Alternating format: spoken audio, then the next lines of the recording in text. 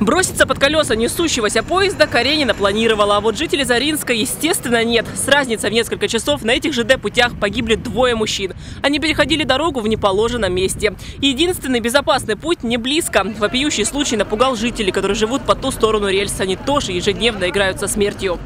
Ни аптек нету, ни нормальных магазинов нету. Каждый день люди переходят вот эту вот линию, железную дорогу. Они переходят в неправильном месте, где нельзя.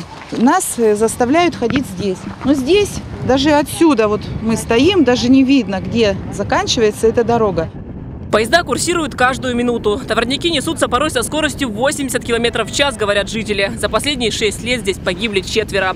До легального перехода идти 20 минут. Бабушки добираются за 40. Прогулка никого не устраивает, люди срезают. А не А вот- страшно идти неправильно? Конечно, Ну, страшно. Страшно. Особенно за детей страшно. Мы-то отжили, ладно. Детей мне жалко. Детей. А они как ходят? Неправильно или и правильно? там ходят, и здесь ходят, знаю. Встречала сколько раз детей. А в администрации людям ежегодно дают понять, что нового перехода не будет. И либо автобусом, либо вот должны переходить вот через этот мост. Он доступный, да? Э, Ну, да, он доступный. Или им идти до него? Ну, идти, конечно. А сколько минут? Э, Ну, там достаточно прилично. А почему две части города соединяет лишь один официальный переход через рельсы, пояснили, что их число не нормировано. Так что получается, по закону они ничего и не должны жителям.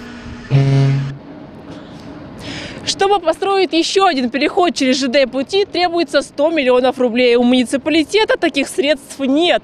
Кроме того, они задаются вопросом, стоит ли безопасность 800 человек такой суммы.